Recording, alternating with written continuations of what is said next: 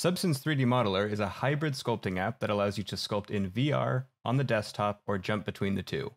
A headset is not required to use Modeler, but as this release is introducing Quest Pro feature support, I'll be focusing on a VR workflow. This video will be a highlight of some of the features used to make a go-kart sculpt. If you're interested in learning how to use all of the tools and features in more detail, please check out the tutorials on the Adobe Substance 3D YouTube channel. Everything shown is done in VR, although file management, importing, and exporting currently need to be done on the desktop. I'm beginning this sculpt with a couple layers already placed down.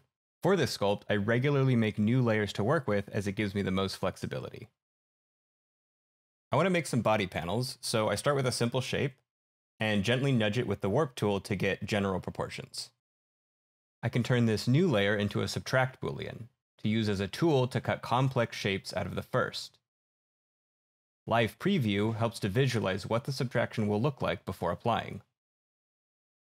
Boolean settings can be applied to multiple layers, so I can see how they all interact. After hitting apply, I get these clean parting lines. And once I had tires in place, I could use a cylinder shape layer to get a good matching shape. So for this wheel, I can take advantage of two useful features.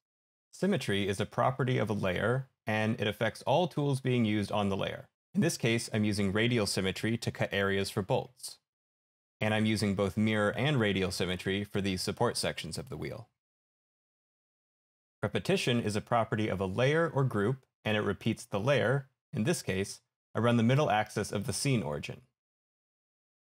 I use radial repetition with a high count to start making treads for this tire, and I only need to edit one of the treads. Grouping a repeated layer causes the layer to repeat around the group's origin. By using a combination of grouping and different repetition settings, I can create an effect where the treads are both mirrored and radially repeated on the tire, all as a non-destructive setting. I'll use the same method for filling in the rest of the treads, which allows me to edit them in relation to one another. I then group the tire and line it up carefully where I want it. I like to use the same tire multiple times so I can make this tire group into a link, and this will make every copy an instance and all edits will be shared. I can continue adding details to the one tire, such as this bolt here. I'll drag scope the bolt into the tire group, repeat it, and then move it into place. For this air valve, I'll make details from several layer copies, group it, and then add it to the tire in the same way.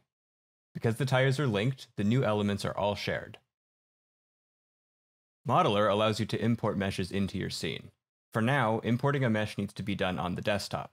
In the File menu, click the top option to browse to your mesh, and its name will update at the top. Once in my scene, it can be interacted with via the Select tool just like a layer. To edit the mesh as if it were clay, I first need to convert it to clay. After a short wait, the mesh becomes its own editable clay layer. I have a handful of other parts for this engine off to the side here, and I can use these elements to assemble the rest of the engine. For things like this bolt, I can quickly make copies to reuse the layer multiple times. The clay tool has a very unique shape called the spline shape. It allows me to make a sweeping shape between both hands and dynamically change the taper settings. I'm going to use this to create an exhaust pipe. I'll place this down in two sections. Then I'll use techniques already shown to add details. I want to add some more organic details to these cushions, so I'm switching to the crease tool making sure that pressure is turned on. Modeler has some additional functionality if you're using Quest Pro controllers. In the Preferences menu under Spatial, there are these two options. Haptics uses the advanced haptics motors in the Quest Pro controller to give a better physical feedback when sculpting. Advanced Controls changes how pressure sensitivity works. Instead of the tool hand trigger being pressure sensitive, now the pressure changes based off of squeezing your thumb on the angled face of the controller while the trigger is held. The thumb pressure allows for greater fidelity of pressure-sensitive control when using some tools. In this case, it allows me to smoothly taper the crease tool. And this is the finished sculpt, all completed in VR using the Quest Pro.